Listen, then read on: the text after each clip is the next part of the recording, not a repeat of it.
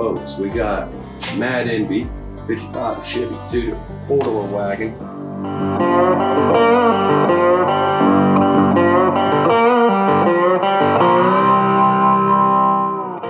Here we have transmission shop, which is part of CTR as well. I'm trying to phase that out. But we build a lot of 4L60Es. A lot. That's why it looks like this. Building some yesterday I haven't cleaned up my mess yet. We bought a new TIG welder and stuff so we can fabricate our own aluminum and stainless steel uh, fuel cells and stuff. I've got some cheats on that so you can kind of do it at home if you got a TIG welder capable. Not have to buy all the bungs. It's a little bit more convenient for us to use a factory style pump. This would be out of a pickup because it's tall. This one would be out of a like a Suburban or a Tahoe, a little smaller for height, so you can get that tank size down. You'll slip under frame rails on like a 67 to 72 Chevy. You can use the same pump in one of these cars and you can get them off the shelf. That's why we're doing it.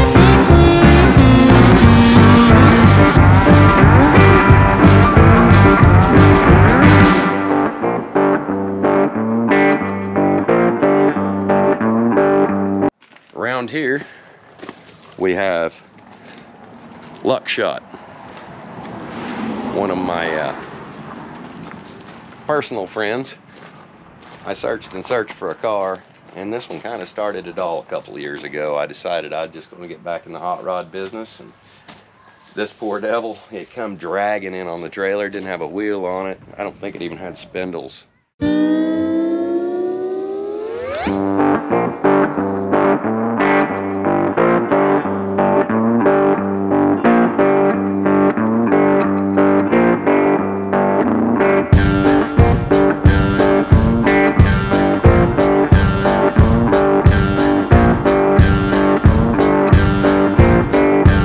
if they did, they were in pretty bad shape.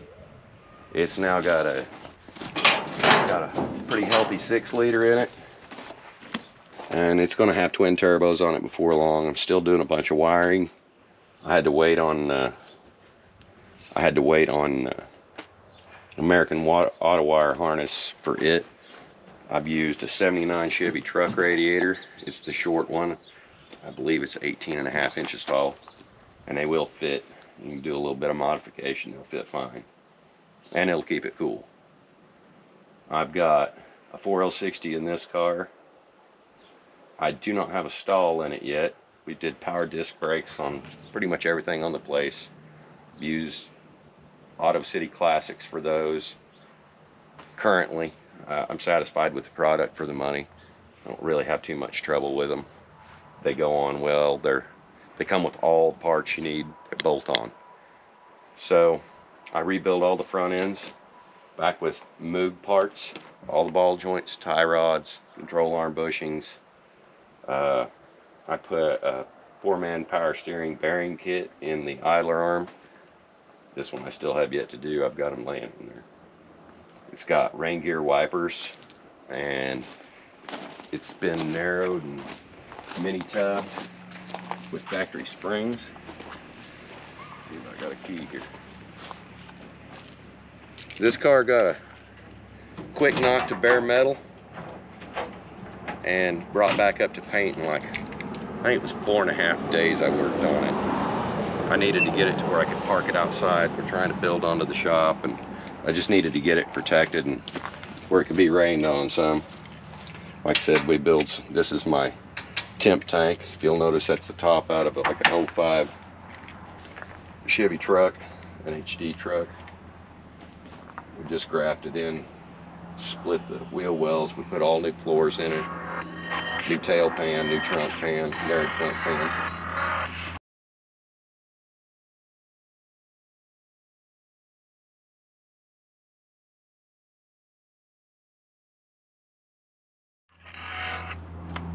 Uh, pretty much the body was in great shape on this thing. It was really straight, not many dings in it at all. No real hard hits or anything. We had to fix a little bit on the quarter panel here. This piece of chrome was damaged and one of my friends managed to come up with another piece of this long quarter spear for me and that's probably the roughest piece of chrome on the car. But I mean, it's all in really good shape. And as you can see, I've got new glass for it. I haven't changed any of it yet. It's pretty much what you see. Put new rockers in both sides. It's got new inner and outer rockers. The inners come with the floor pans. If you guys got any questions, feel free to comment and I'll try to help you with some of how to do this, how to pick them up, different ways you can do it. Been doing this a long time, fabricating cars back together. I used to have to make a lot of these parts you can buy now, but it can still be made. Right here we have a 48 GMC sitting on a 2002 2500 HD frame. The HD frames have a few bodies on it over time. I actually cut a Yukon XL in half and made a four-door HD pickup out of it.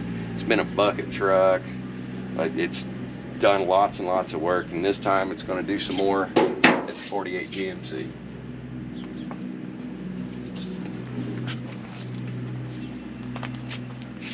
this be long shot here. We've got a few more out back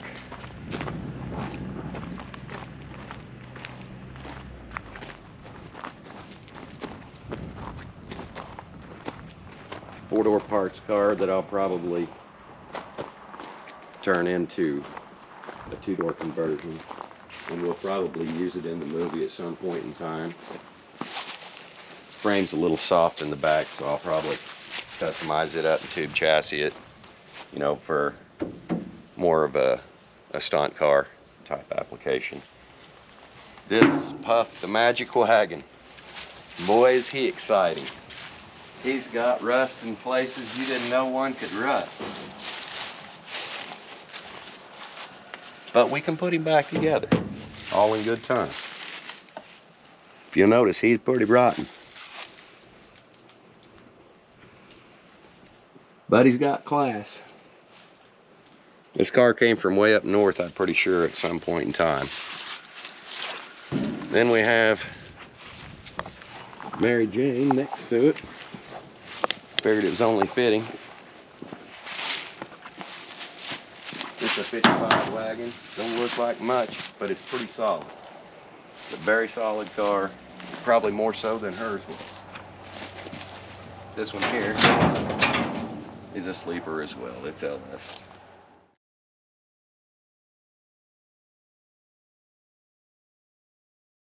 Might be a rat's nest under here. You know what that means? Oh, another LS. Might have a few of them.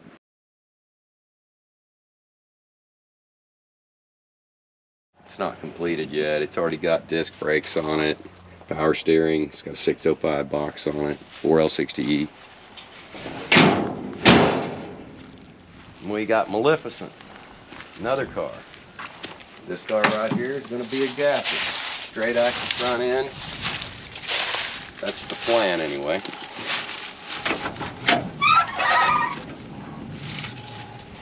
Pretty good shape for its age. Somebody just parked it, took the motor and transmission out. And overall, it's a really solid old car. It'll make a nice one. Down here we have a derby car. It's got a little history too. This was at Whitewater in Branson, Missouri, August 29th, 1971, I believe. And Acres Insurance.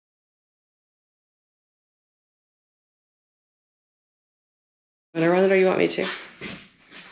How about it? Quite the mess we've got going on. 65 year old cars have uh, a lot of dirty parts and make it quite a mess trying to take them apart. You got to do a lot of repair work on the clamshells and stuff for the seats on those 55s. They're pretty well destroyed, as you can see by this one right here. It's got a lot of damage in it. Fortunately, I got a wire feed and a TIG and plasma cutter, and we'll go make some more clamshell. Right here for Mad Envy, we're gonna put Delray interior in it, black and white. All the window garnishments will be painted red to match the color of the car. The height headliner and black carpet ought to be really crisp. We've got a few other sneaky things going on about that car that's been customized that I haven't mentioned yet because, well, I want to see if anyone notices. it might be the only one around like it, and I've never seen one like it. It's something I thought up to do, and thus far, I think it's really cool. We got some more Delray interior for Luck Shop. We pretty much got all seats ready to go. I've got to modify the back seats take the covers back off because I've narrowed it and so you get into a pinch right here on the wheel well and down here on the wheel well you need to cut it back farther. It's not a big job but I have to pull the covers loose, cut the wires down, re-weld it back together at the right spot and just readjust the arch. We got the package tray panel ready to be applied when I put out a new package tray. Uh, I think we still gotta make the door panels for it. They're over there. We still gotta make the, the actual door panel appliques. We got new carpet for old Luck Shop. Got a nice Singer 281-3. And it's been converted to have a variable speed motor on instead of the old clutch motor the old clutch motor didn't get thrown away. It just, it was about done. This is our little upholstery shop. We do some storage in here. and It's an extra house I had and I needed the space. We store some parts and some extra seats. Believe those are 68 or 9 GTO buckets, or I mean uh, Buick GS buckets. And there might be 68s and 9s there. I've got two sets. We keep some extra glass and stuff down here, extra window garnishments, old door panels, so we can pick them apart for the patterns and swipe some of the stainless back that goes on. I don't really sell parts. I try and help people find parts when they need them. You know, if I've got an extra piece and guy's trying to put a car back together, I was trying to help out. That's what we do. And cut.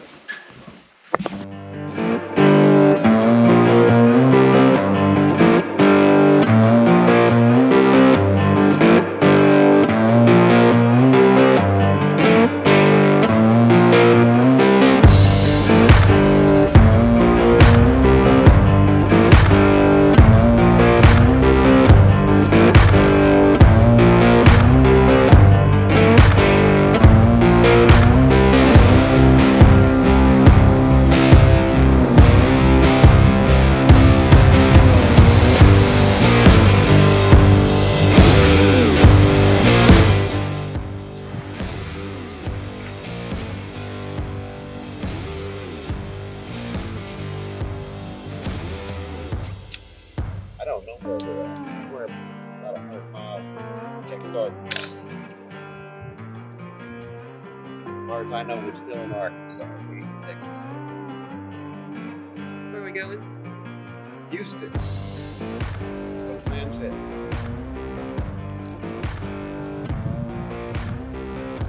Records, yeah. Hard-boiled egg for the boys.